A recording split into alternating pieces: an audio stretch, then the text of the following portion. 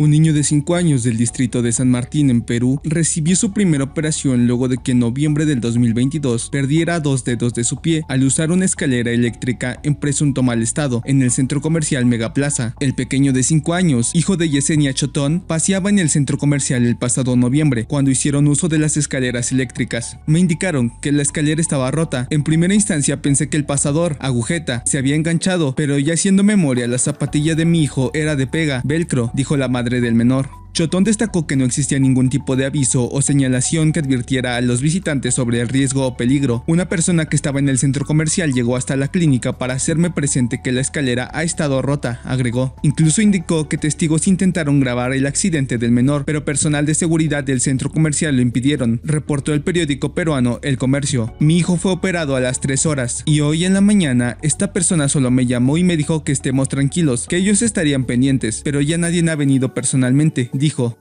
Si te gustó el video, no olvides darle like y suscribirte a nuestro canal para seguir informado.